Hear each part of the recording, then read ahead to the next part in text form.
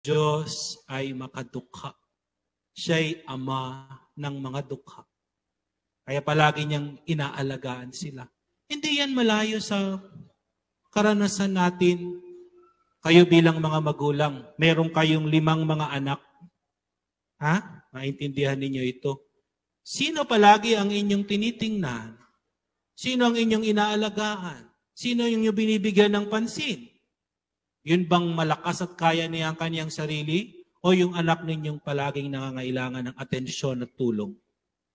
Sabihin ng mga ibang anak, ay si nanay, yun na lang ang anak niya ngayon na palagi niyang iniisip. Bigyan mo ng pera, ibibigay din doon.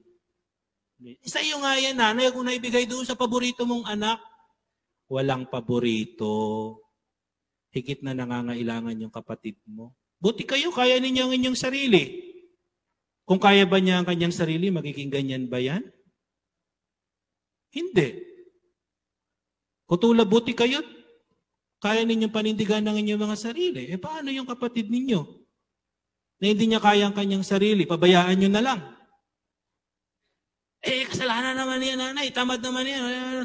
Hindi natin alam. Marami tayong dapat i-consider. Pero ang suma total, kung kaya niya yung kanyang sarili, hindi yan magkakaganyan. Hindi ba? At sino ang nakakakita noon? Ang magulang. Sana ganun din ang pananaw ng mga kapatid. Hindi ba? Nakalugmok na yung kapatid mo, pababayaan mo pa. Ay, tamad ay, father. Hindi ba?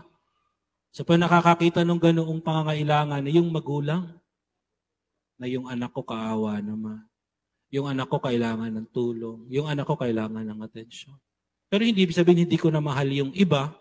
Kaya nila yung kanilang sarili.